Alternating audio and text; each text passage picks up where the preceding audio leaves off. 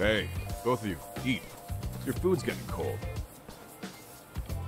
One of our higher-ups cooked this himself. It won't look good if there's any left.